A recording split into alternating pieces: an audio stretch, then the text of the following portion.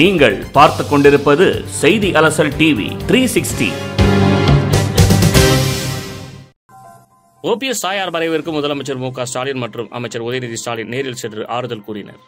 பல மாநிலங்களில் ஆளுநரை எதிர்த்து உச்சநீதிமன்றம் சென்றுள்ள நிலையில் ஆன்லைன் சூதாட்ட தடுப்பு மசோதாவிற்கு கோளாறு செய்தால் தமிழ்நாடு ஆளுநரை எதிர்த்து தமிழ்நாடு அரசும் உச்சநீதிமன்றம் செல்ல வேண்டும் என்று திராவிடர் கழக தலைவர் கி. வீரமணி அவர்கள் அறிக்கை விடுத்துள்ளார். தமிழகத்தில் வரும் இருபதாம் தேதி வரை இடியுடன் கூடிய மழைக்கு வாய்ப்புள்ளதாகவும் நான்கு மாவட்டங்களில் அடுத்த நான்கு மணி நேரத்திற்கு மழைக்கு வாய்ப்புள்ளது எனவும் வானிலை ஆய்வு மையம் தெரிவித்துள்ளது. பொதுத் தேர்வு எழுதாத ஐம்பதாயிரம் மாணவர்கள் விவரங்களை கண்டறிய வேண்டும் என்று பள்ளிக்கல்வித்துறை தெரிவித்துள்ளது.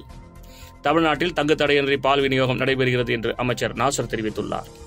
கட்டடத் தொழிலாளர்கள் விபத்தின் போது உயிரிழந்தால் வழங்கப்படும் நிவாரணத் தொகை ரூபாய் ஒரு லட்சத்திலிருந்து இரண்டு லட்சமாக உயர்த்தி தமிழ்நாடு அரசு ஆணை பிறப்பித்துள்ளது. பால் கொள்முதல் விலையை உயர்த்த வலியுறுத்தி தமிழகம் முழுவதும் பால் உற்பத்தியாளர்கள் போராட்டம் நடத்தி வருகின்றனர்.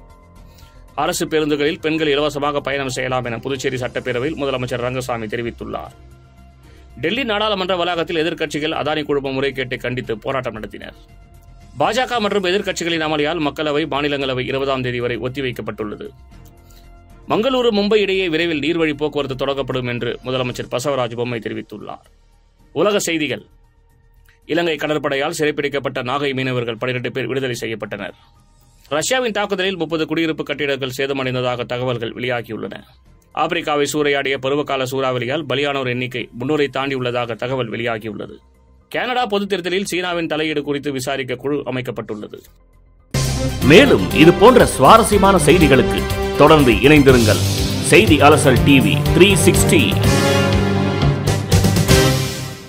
இந்த வீடியோ உங்களுக்கு பிடிச்சிருந்தா லைக் பண்ணுங்க ஷேர் பண்ணுங்க கமெண்ட் பண்ணுங்க சப்ஸ்கிரைப் பண்ணுங்க. மறக்காம அந்த பெல் பட்டனை அழுத்துங்க.